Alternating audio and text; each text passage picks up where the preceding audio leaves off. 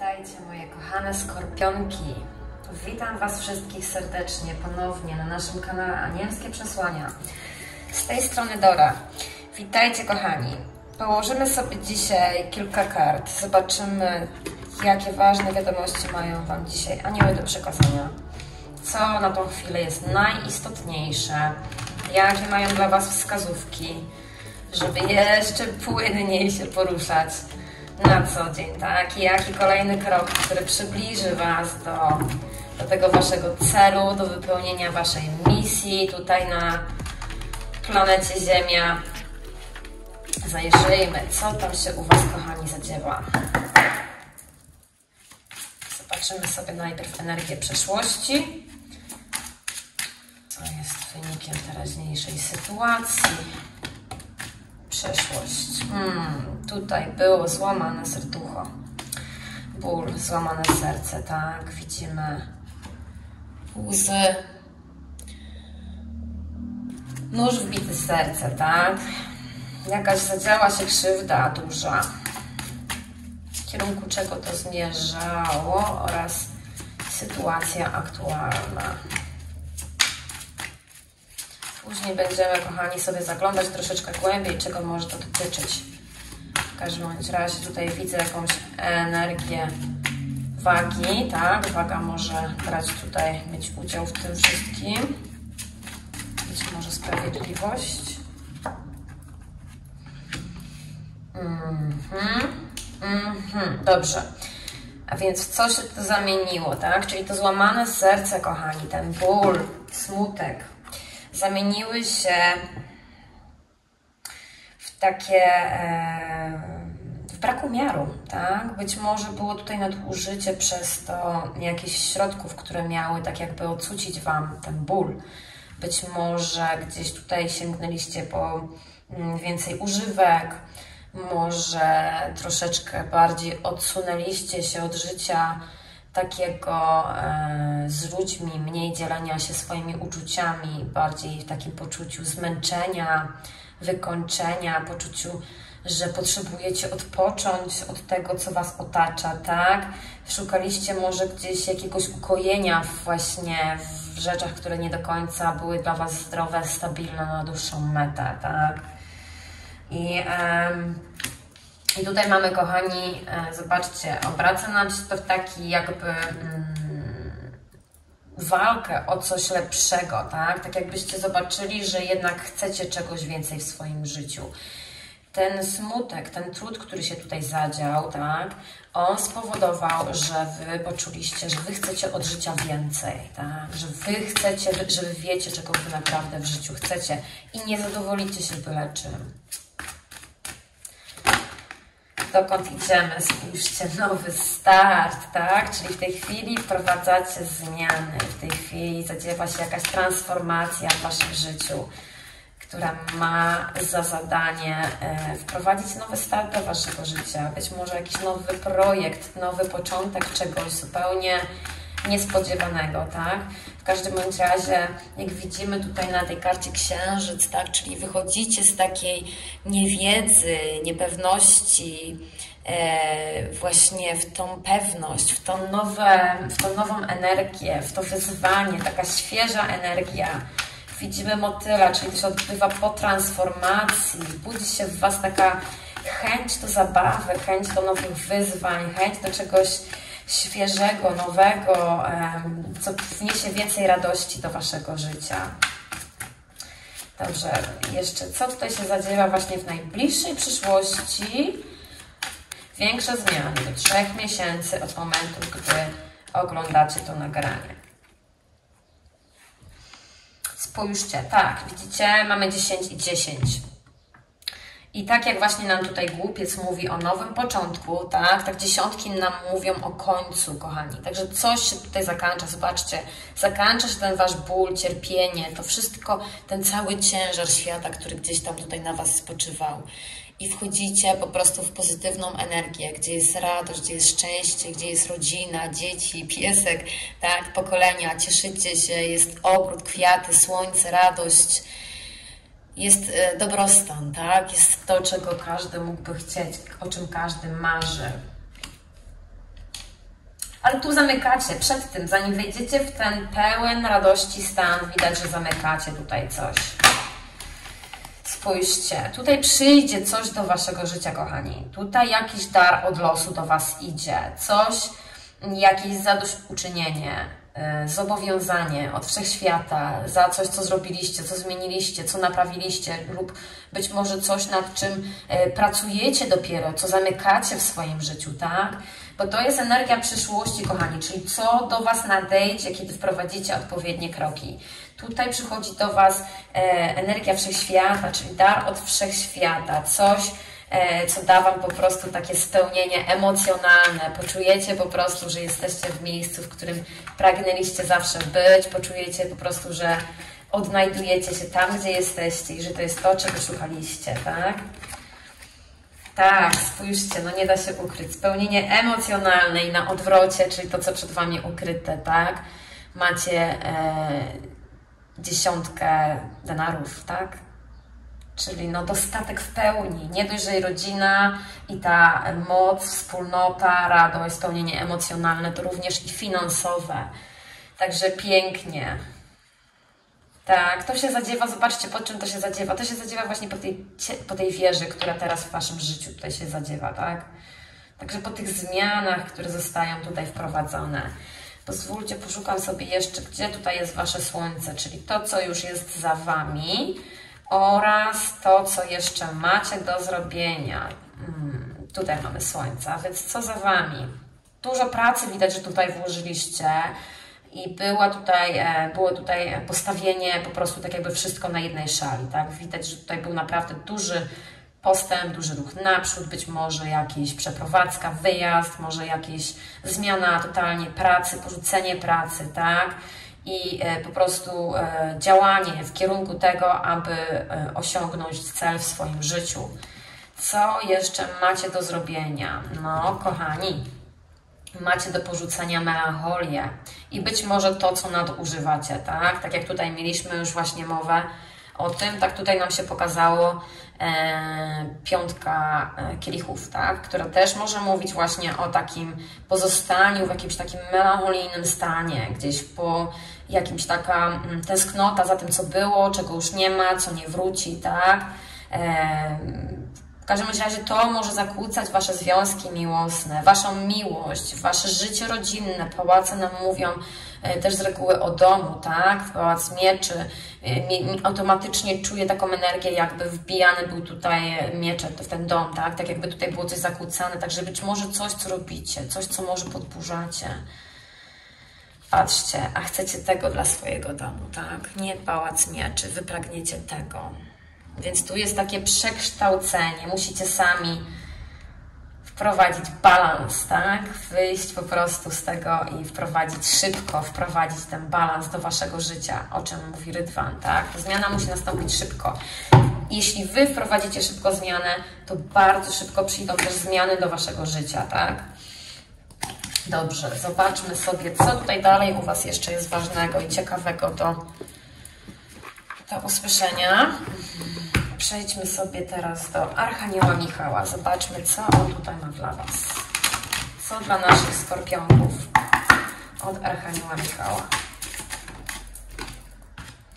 A więc Twój dom jest chroniony przez anioły. Spójrzcie, widzicie? To jest to, co dopiero powiedziałam też o domu, tak? Czyli o tych mieczach. Także nie bój się, nie ma strachu, Twój dom jest chroniony, tak? To może być coś od wewnątrz bardziej, tak? Twój dom jest chroniony, więc nie martw się.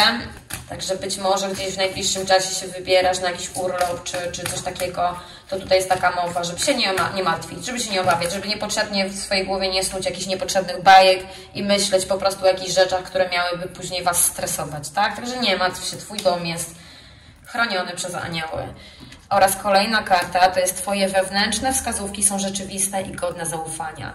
Czyli przede wszystkim zaufaj swojej intuicji. Ona Cię nie myli, tak? To jest taka najważniejsza w tej chwili wskazówka dla Ciebie. Jeżeli się zastanawiasz, chcesz podjąć jakiś krok, jakąś decyzję, to tutaj jest dla Ciebie takie właśnie nawołanie do tego.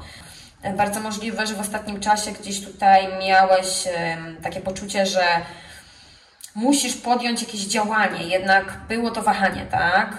Z powodu jakiegoś strachu, że być może nie wykonasz tego mm, we właściwy sposób, tak? I właśnie ta karta jest dla Ciebie takim potwierdzeniem, że, e, że te zmiany są bezpieczne, żeby się nie martwić, tak? Że jeżeli chcesz zrobić jakiś krok w kierunku czegoś nowego, to tak, to jest zapewnienie, że Twoja intuicja Cię nie myli. Skoro czujesz, że chcesz coś zrobić, to zrób to. To jest dobry krok, tak?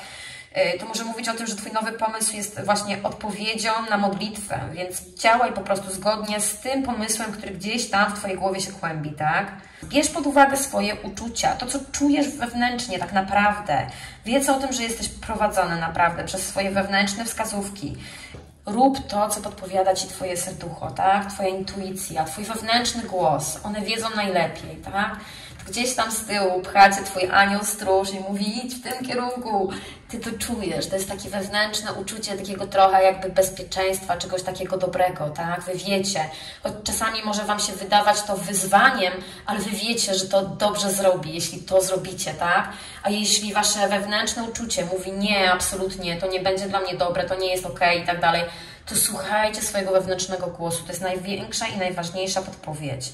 Tutaj do tego, kochani, jest taka modlitwa. Jeśli chcecie, to tutaj możecie zamknąć oczy, położyć lewą dłoń na portalu swojego serca i wsłuchać się w te słowa. Proszę, pomagaj mi wyraźnie słyszeć, widzieć, czuć i znać Boże wskazówki, o które prosiłem i modliłem się. Pozwól mi trzymać moje ego z boku, abym przepełnił się Twoją mądrością dla mojej własnej korzyści i dla tych, którzy są wokół mnie. Tak, także to jest taka modlitwa, z której też możecie skorzystać, możecie sobie cofnąć ją, zapisać, tak? I z której możecie korzystać sobie też na bieżąco. Dobrze, kochani, przejdźmy sobie do przesłania od Waszych aniołów. Jakie wskazówki dla naszych skorpionków?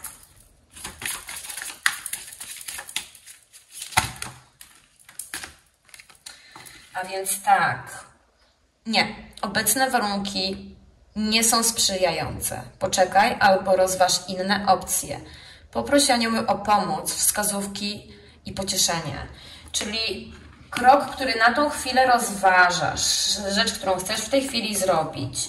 E, być może jest jeszcze coś, tak? Czyli jeżeli ten Twój wewnętrzny głos Ci podpowiada, że jeszcze nie do końca czujesz się bezpiecznie właśnie z podjęciem jakiejś decyzji, to może dlatego Ci też to podpowiada, bo może faktycznie gdzieś trzeba tutaj zasięgnąć jakiejś drugiej opinii, jak, y, trzeba e, troszeczkę więcej poszukać w tym temacie, może trzeba się troszeczkę więcej dowiedzieć, poszperać i tak dalej, tak? Także nic nie rób na siłę, nic nie wymuszaj, absolutnie nic nie wymuszaj. I słuchaj głosu swojego serca, przyciągasz do siebie dobrobyt. Tak? Słuchaj głosu swojego serca. Po raz kolejny. Słuchaj swojej intuicji i głosu swojego serca.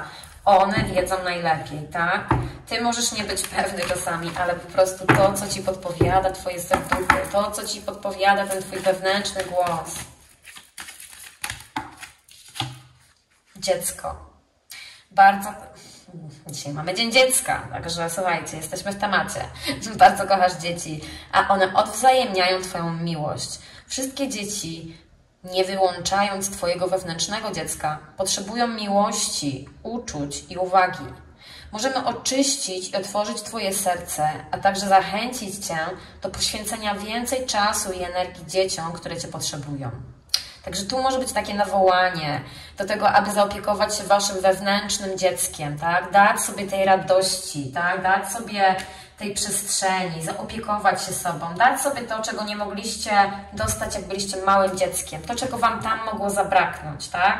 E, być może jest to takie nawołanie do was, e, aby mm, zaopiekować się swoimi dziećmi, aby poświęcić im troszeczkę więcej czasu, energii, tak? Jeśli macie dzieci, być może jest to takim właśnie nawołaniem. To też może mówić o tym, że być może u niektórych z Was pojawi się w Waszym życiu jakieś nowe dziecko, w Waszej rodzinie, być może u Was. To też o tym może mówić, także bierzcie, e, kochani, pod uwagę e, to, co do Was, co z Wami rezonuje, tak? Pamiętajcie, że te czytania są ogólne dla wielu osób i nie wszystko będzie z Wami rezonować. Każda wiadomość jest w jakiś sposób ukierunkowana dla osoby, które mają otrzymać. Weźcie to, co jest Wasze, a resztę zostawcie. Sprawy miłosne. Twoje pytanie jest związane z Twoim życiem uczuciowym, które właśnie odmienia się na lepsze. Pięknie. A więc Wasze życie miłosne również rozkwita. Pięknie. Zdecydowanie jest tutaj poprawa na lepsze, więc jeśli gdzieś tutaj coś kulało, jeśli gdzieś tutaj były jakieś problemy, to jest to dla Was takie zapewnienie, że idziecie w dobrym kierunku. Spójrzcie, no nie wierzę, ciąża. Dopiero co o tym powiedziałam, czyli miało być dosadnie. Tak, miałam z tyłu głowy, ale mówię, że nie będę Was tutaj maltretować ciążą, ale ktoś z Was zdecydowanie spodziewa się baby, tak? Także zostanie ktoś z Was tutaj mamusią albo tatusiem. Być może już jest ciąża e, i być może jest tutaj też mowa o tym, że już wkrótce jakieś rozwiązanie, więc narodziny dziecka przyniosą wielkie błogosławieństwo dla Ciebie i całego świata. Także przyniesie to ogromne zmiany w Twoim życiu. Dobrze, to może by, to mogą być też narodziny nowego pomysłu, nowej idei, tak? Dla niektórych też tak to wygląda, kochani. Także bierzcie to tak, jak to do Was pasuje. Następnie mamy wskazówki od mistrzów duchowych. Jakie wskazówki dla naszego skorpionka? Mistrzów duchowych.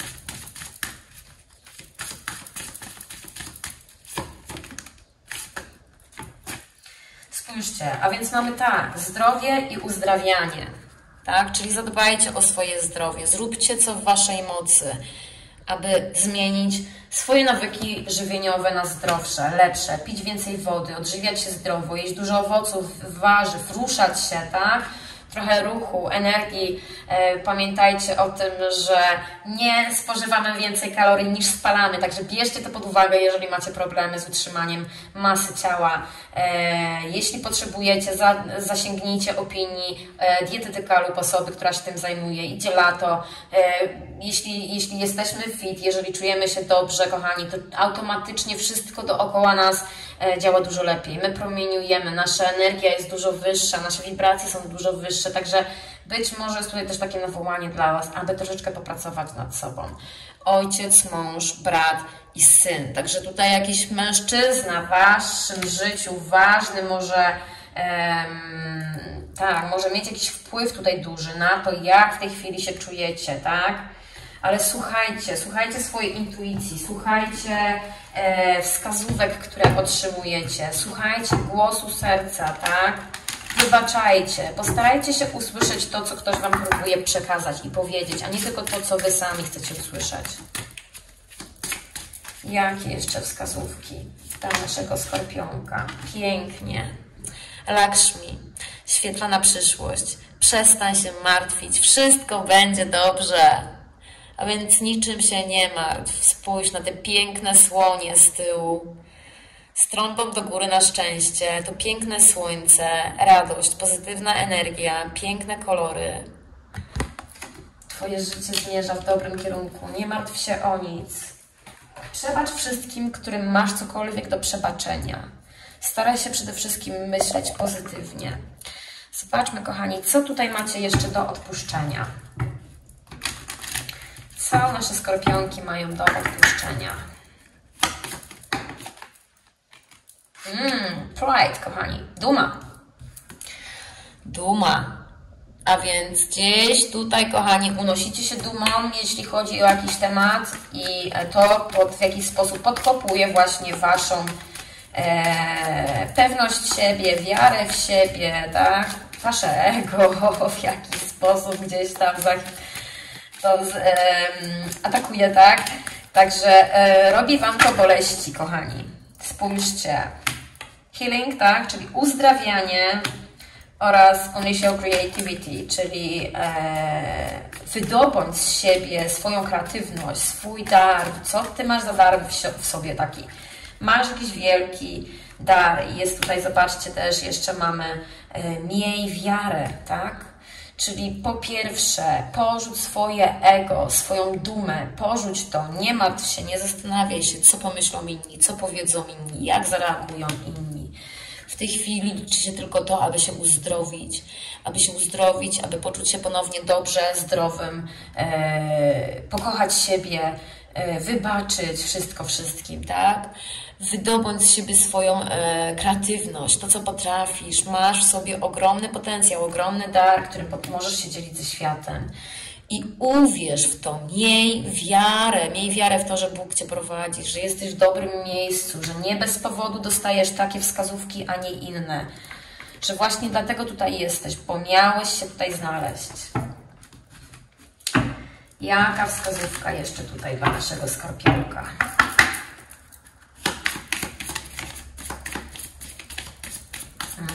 Hmm, czy wystarczająco się wysypiacie? Czy wystarczająco odpoczywacie? Tak? Wiedz o tym, że Twój organizm jest Twoim mechanizmem, Twoim e, kombinezonem, który tutaj dostajesz na ziemi, tak? Zauważ to, jak Twoje ciało się czuje, kiedy nie śpisz wystarczająco, tak? Co możesz zrobić, żeby wypocząć jeszcze lepiej, żeby wypocząć więcej, żeby e, dać sobie faktycznie ten odpoczynek, którego potrzebuje Twoje ciało, tak? Tutaj jest takie nawołanie do Ciebie, być może weź sobie jakąś taką ciepłą kąpiel, dodaj sobie jakiegoś takich e, esencjalnych olejków do e, kąpieli, na przykład lawendowy, tak? Który jest bardzo relaksujący. Połóż się do łóżka, dużo wcześniej niż zwykle, tak? I daj sobie na przykład na to czas dzisiaj. Zauważ, jak Twoje ciało e, dziękuję Ci za to, kiedy, kiedy dasz mu ten odpoczynek, kiedy dasz mu ten czas, tak? Daj sobie pozwolenie na to, żeby odpocząć, tak? I żeby zregenerować swoje siły do tego, aby mieć więcej e, energii do działania, więcej energii do tego, aby, aby jeszcze chętniej działać, kochani, tak? Powtarzam się tutaj, ale widzę, że to definitywnie chodzi o, o, o jakiś faktycznie brak energii w Waszym życiu, tak? Także to tutaj trzeba e, tak, zdrowe nawyki żywieniowe, zobaczcie, tutaj jest ta, ta, ta, ta energia, tak? Także trzeba zadbać o siebie. Tak, czy w Waszym życiu jest więcej miejsca na zabawę i na przyjemność? Której strefie swojego życia, w której dziedzinie swojego życia yy, brakuje Ci takiej zabawy, przyjemności. Czy to są relacje międzyludzkie, czy to jest praca, tak? Yy, czy to są jakieś obowiązki, czy jest to możliwe, żebyś zmienił w jakiś sposób swoje nastawienie z tej powagi, tak? I wprowadzić w, po prostu w te codzienne zajęcia, codzienne obowiązki, w codzienność, trochę więcej e, zabawy, radości, szaleństwa, tak? Wprowadzić trochę więcej takiego e, ślizgania się po życiu, zanim, zamiast ciągle żyć w tym oporze, tak? E, pomyśl sobie, jak wyglądałoby Twoje życie, gdybyś wprowadził w nie właśnie trochę więcej zabawy, więcej śmiechu, tak? Który właśnie, która dziedzina w Twoim życiu, która strefa w Twoim życiu, część Twojego życia, e, właśnie tak jakby nie domaga, tak? W tej, w tej właśnie radości, w śmiechu, w, tak? W, tym, w, w tej zabawie, tak? W tej przyjemności w tym, co wykonujesz. Postaraj się wyprodukować trochę więcej radości w swoim życiu i trochę więcej tej zabawy, tak? Dobrze, kochani. Weźmiemy sobie jeszcze tutaj jedną wskazóweczkę od wyroczni Gwiezdnych Ziaren. Zobaczymy, jakie ważne tutaj wskazówki jeszcze są dla Was. Wyrocznik Gwiezdnych Ziaren. Wow, dwie poszły. Dobrze, pięknie. A więc poddaj się słodyczy. No, pięknie, kochani. Poddaj się słodyczy. To jest ten relaks. Widzicie? Energia Wenus, przyjemność. Mamy, kurczę, trzy karty. Patrzcie, się ukryły. Dobrze tak ma być. Nic się, kochani, nie dzieje bez powodu, tak? Miało dokładnie się stać. A więc pierwszą kartą, tak jak wspomniałam, mamy poddaj się e, słodyczy, tak? I e, i ta karta właśnie mówi o energii Wenus, o przyjemności, o radości i o tym, żeby okazać życiu więcej miłości, tak? To jest taka zmysłowa, w sumie bardzo kobieta, kobieca karta, e, która e, stanowi takie jakby wezwanie, byś poddał się słodyczy życia. Właśnie to ta, ta radość, która właśnie tutaj była mowa o tym, gdzie brakuje w Twoim życiu tej radości, przyjemności. Zobaczcie, jak to się jedno po drugim idzie, tak? Czyli nie martw się niczym. Wszystko zadziewa się dokładnie tak, jak ma się zadziać. Zobaczcie, jakie piękne potwierdzenie dla Was, dla tej karty. To po prostu dopiero teraz poskładałam tą układankę w całą. Dziękuję. Czasami potrzeba trochę czasu. No, w każdym razie, kochani, tak, tak to właśnie działa. A więc tak, skosztuj owoców, na które tak ciężko pracowałeś. Pozwól, żeby Twoje zmysły przejęły kontrolę i pij życie z rozkoszą niczym wino. Upijaj się obfitością, jaką oferuje ta planeta i którą Ty także masz w sobie, gdy Twoja studnia jest pełna.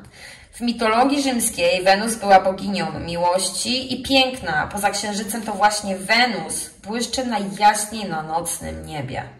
Czas jest naszym najcenniejszym bogactwem i najpotężniejszym uzdrowicielem. Jeśli do tej pory ciężko pracowałeś, odmawiając sobie przyjemności, to ta karta właśnie jest znakiem dla Ciebie, byś zafundował sobie trochę wolnego.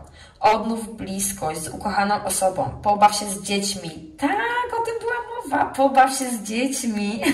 Niesamowite. I daj sobie luksus wolnego czasu bez listy spraw do załatwienia. Wielu z nas jest tak zajętych budowaniem swojego życia, że zapominamy się nim cieszyć. Żyjemy w ciągłym stresie, gonitwie. Zapominamy, dlaczego w ogóle zdecydowaliśmy się przystąpić do budowy. Brak łączności ze słodyczą powoduje więcej bólu, niż nam się wydaje. Tak wiele z nas w imię przetrwania przez pięć dni w tygodniu udaje się bezustannie do budynków. Wysilamy się, żeby zapewnić sobie życie jak ze snu, doprowadzając się przy tym na skraj wytrzymałości ta karta właśnie nawołuje do Ciebie, żebyś przypomniał właśnie w jakiś, w jakiś taki sposób sobie tą przyjemność płynącą właśnie z bycia człowiekiem, żeby być skoncentrowanym na tym, co naprawdę jest ważne i na tym, co Cię cieszy w tym Twoim zwykłym życiu, tak? Zastanów się, jak możesz poddać się słodyczy życia i w jaki choćby jeden sposób możesz nieco bardziej cieszyć się tym swoim życiem. Pięknie, kochani. Następnie mamy mychatorzy. Mega ważna karta, tak? Głębie, głęboka miłość, mleko matki, narodziny jako portal. Narodziny to brama właśnie witająca nowe życie i, i tak, Hatorzy są tutaj, żeby przypomnieć Ci, że jesteś dzieckiem kosmicznej matki i zostajesz wezwany, żeby podtrzymywała Cię w jej niezgłębiona i niekończąca się miłość. Ta pełna macierzyńskiej czułości matka przypomina Ci, żebyś otworzył się na głęboką miłość matczynego objęcia. Hatorzy wiedzą, że ziemska podróż może być czasami wyboista i samotna, dlatego przypominają, byś jeszcze głębiej wtulił się właśnie w ramiona Matki Ziemi. To karta o niezmierzonym potencjale, karta kobiecości, kolejna z rzędu, karta tworzenia i narodzin, tak? E, gdzieś tu też była mowa o narodzinach, także kochani, jeśli tutaj jakieś babies się szykują, dawajcie znać w komentarzach. Bardzo mnie to ciekawi. także komentujcie. Więc zostajesz tutaj wezwany, tak, żeby otworzyć właśnie tą matczyną, e, żeby, żeby się otoczyć tą matczyną opieką właśnie siebie, otoczyć tą matczyną opieką innych, żeby, e, lub ojcowską też może być, tak? Zawierzyć właśnie tej swojej wewnętrznej mocy i po prostu otworzyć i poddać się tym własnym tworzeniom, żeby obejmować i być obejmowanym. Zostajesz tutaj wezwany do tego, żeby przypomnieć sobie, jakie jest Twoje miejsce właśnie w sieci życia. Żeby sobie uświadomić, że e, Twoja kosmiczna matka czuwa właśnie nad każdym Twoim krokiem, i bardzo możliwe, że znajdujesz się w tej chwili w takim trakcie yy, przemiany, tak? Yy, odchodząc właśnie z jakiegoś jednego sposobu bycia na rzecz innego. I jeśli ta karta pojawia się w Twoim rozkładzie, tak? To ona przypomina Ci, że jesteś kołysany w świętej kolebce, że jesteś podtrzymywany mocniej niż możesz to sobie wyobrazić i że masz dostęp do większego strumienia miłości niż Twoje serce może pomieścić. Jeśli przeżywasz jakąkolwiek trudność, w swoim życiu, to otrzymujesz właśnie poprzez tą kartę takie zapewnienie, że wszystko się ułoży, żeby się po prostu otworzyć na obfitość miłości kosmicznej matki spływającej na ciebie ze wszystkich stron. Niech otworzy szeroko Twoje serce. Otwórz się na przyjmowanie. Nie staraj się wszystkiego zrobić sam. Umieść lewą rękę na portalu swojego serca. Zamknij oczy. Weź głęboki wdech. Wydech. I powtórz po mnie te słowa. Pozwalam, by głęboka miłość kosmicznej matki na mnie spłynęła. Jestem kochany jestem podtrzymywany. Tak, kochani, pięknie. Oraz spójrzcie, zaraz po tej kosmicznej matce mamy kosmiczne serce, tak? Jak tu było powiedziane, by Twoje serce mogło się otworzyć. I co jest niesamowite, jak to nam się wszystko pięknie łączy, tak? Piękne, kochani. A więc kosmiczne serce mówi o tym, że kiedy wkraczasz właśnie w stan oddania, odkrywasz, że płyniesz w nurcie wszelkiego życia i zostajesz tutaj wezwany, by skierować swoją uwagę w głąb siebie, ku inteligencji własnego serca, żeby pokłonić się z szacunkiem swojej wewnętrznej świątyni, żeby przeżywać życie właśnie z oddaniem wobec tego miejsca i uczynić swoje życie jedną wielką, poruszającą modlitwą. Bardzo możliwe, że ostatnio nieco byłeś w jakiś sposób wytrącony z równowagi, tak? Może gdzieś czułeś jakąś niemoc, która sprawia, że podejmujesz działanie, nie będąc pewnym, co dalej, tak? I może gdzieś tutaj Twoja koncentracja uległa osłabieniu czy rozproszeniu. Być może zapomniałeś tak naprawdę, czemu w ogóle zacząłeś działać i czemu jesteś tu, gdzie jesteś. Jeśli tak, to jest to właśnie wezwanie dla Ciebie, żebyś poświęcił chwilę na ponowne takie połączenie się z prawdą w samym środku swojego serca, żeby powrócić do setna Twoich zamierzeń, żeby poświęcić życie temu, co jest Ci najdroższe, co sprawia Ci radość, co sprawia, że promienieje, żeby skierować spojrzenie w głąb, głębiej i jeszcze głębiej, do samego środka. Jest czas siewu, jest czas zbioru.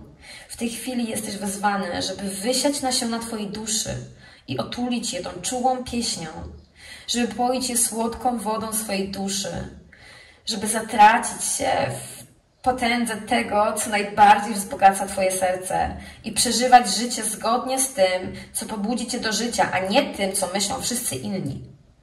Żeby uczynić swoje życie jedną wielką, poruszającą modlitwą. Rób to, co sprawia, że czujesz, że latasz, że czujesz, że się unosisz, że życie cię niesie. Rób to, co kochasz. Kochani, jeśli podczas tego pytania, jeśli podczas tego czytania pojawiły się jakieś pytania, w tej chwili jest idealny moment, aby je zadać. Poprosimy tutaj e, nasze anielskie odpowiedzi, tak? Także zadajcie sobie, kochani, to pytanie. My prosimy tutaj o odpowiedź. Trzy karty, które przyniosą nam odpowiedź na Wasze pytanie.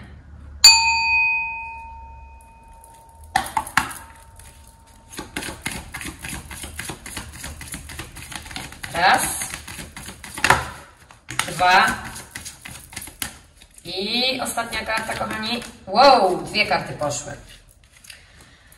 Przebaczenie. Następnie było dzięki przebaczeniu, kochani, nastąpi poprawa zdrowia. Pamiętajcie o tym, że Wasze emocje są w 100 milionach procent połączone z Waszym ciałem. Więc jeśli Wasze emocje nie domagają, kuleją, sprawiają Wam ból, Wasze ciało też będzie sprawiać Wam ból. Następnie mamy przemyśl to. Następnie mamy nie oraz nie przestawaj. A więc, aby nie wprowadzać Was, kochani, w błąd, powiem Wam jeszcze dokładnie, co oznaczają te karty, które tutaj wylosowaliśmy. A więc przebaczenie może zdziałać cuda, kiedy uwalniasz się od przeszłości, z Twoich barków zdejmowany jest ogromny ciężar i czujesz omywające całą Twoją istotę poczucie wolności. Anioły możesz poprosić o pomoc w dowolnej chwili. w uwolnieniu się od smutku, od bólu spowodowanego przez innych. Tylko dzięki temu Ty możesz być prawdziwie wolny. Karta ta może odnosić się również do potrzeby wybaczenia sobie samemu. Nadeszła pora, by odrzucić poczucie winy, jakie w sobie nosisz z powodu dawnych popełnionych przez siebie błędów. Przyjmij do wiadomości, że na tamtą chwilę zrobiłeś wszystko, co było w Twojej mocy, nawet jeśli rezultaty były dalekie od oczekiwanych. Skup się na zmianach, jakie się dokonały od tamtej pory, a dzięki którym stałeś lepszą osobą. Pięknie. Następnie mamy poprawa zdrowia, czyli anioły chcą, żebyś wiedział, że zdrowie osoby, o którą pytasz, niedługo ulegnie poprawie. Możesz poprosić o pomoc Archanioła Rafała oraz swoje anioły stróże, by przyspieszyli proces uzdrawiania. Karta ta może również oznaczać, że w swoim życiu powinieneś podejmować więcej wyborów mających na uwadze Twoje zdrowie. Mieliśmy o tym mowę, tak? A więc jeśli czujesz, że potrzebujesz oczyszczenia ze szkodliwych pokarmów, toksyn lub innych substancji, powinieneś skorzystać z tego przewodnictwa. Wyeliminowanie niezdrowych przyzwyczajeń sprawi, że poczujesz się znowu silny i w pełni zdrowy. Pięknie. Następnie mamy, kochani, przemyśl to, tak? A więc przemyśl to, czyli któryś z elementów Twojego planu powinien być poddany ponownemu rozważeniu. Poświęć nieco więcej czasu na przeanalizowanie swojego projektu lub złożonej Ci propozycji. Podziel się swoimi planami z zaufanymi, z zaufanymi ludźmi, zaufanym przyjacielem lub doradcą, dzięki czemu będziesz mógł uzyskać obiektywną odpowiedź zwrotną. Poproś również swoje anioły o przewodnictwo. Karta ta może oznaczać również, że obecnie nie jest właściwy moment na dokonanie zmiany w Twoim życiu. Nie jest właściwy no- moment na obecną zmianę, którą rozważasz. Przyjdzie na to lepszy czas lub, te, lub też dojdziesz do przepraszam, lub też dojdziesz w przyszłości do wniosku, że pragniesz dokonać transformacji innego typu. Tak, kolejna odpowiedź to była nie. I tutaj potem mieliśmy kartę nie przestawaj. Czyli kochanie, nie jest powiedziane, że nie konkretnie, tak? Po prostu jest powiedziane, że nie jest to odpowiednia pora i też nie jest to pora do tego, żeby się poddawać. Także kontynuuj po prostu podążanie w kierunku swoich nadziei, snów bądź planów. Wiedz o tym, że jesteś na właściwej ścieżce i jeżeli staniesz na tym kursie, wkrótce powinieneś zacząć dostrzegać postęp, tak? Więc idź i rób to, co robisz, tak? Bardzo ważne jest, żebyś twardo stał na ziemi i wierzył w siebie. Nie pozwól na to, żeby ktokolwiek cię onieśmielał i skłonił do rezygnacji z Twoich planów. Tylko dlatego, że inni nie podzielają Twojej wizji, Ty nie musisz zaprzestawać podążania za własnym sercem. Dobrze, kochani. Dziękuję Wam pięknie za dziś. Mam nadzieję, że te wskazówki pomogą Wam w, w czymś, tak? Jeżeli uzyskaliście tutaj jakieś odpowiedzi na pytania, które gdzieś trapiły Waszą głowę, jeżeli to czytanie z Wami rezonowało, zachęcam Was, kochani, do pozostawienia lajka. E, oraz jeśli jeszcze nie subskrybowaliście kanału, to również zachęcam Was do subskrypcji i do podzielenia się ze znajomymi, innymi osobami, które mogłyby skorzystać z tych e, podpowiedzi anielskich, tak, abyśmy w jeszcze większym gronie korzystali właśnie tutaj e, z tego, co anioły chcą nam przekazać, podpowiedzieć jak chcą nas jeszcze przeszkolić, wyszkolić i, i, i jak poprowadzić, popchnąć nas do przodu w tym, w tej naszej ścieżce życiowej. Dziękuję Wam pięknie, kochani, za dziś. Życzę Wam samych cudowności. Jeszcze raz wszystkiego najwspanialszego. Wszystkie dzieciaczki Boże, tak, w dniu dziecka. E, samych cudowności dla Was, spełnienia marzeń i zdróweczka, kochani. Także dbajcie o siebie i zdobywajcie swoje cele, kochani. Pozdrawiam, pa!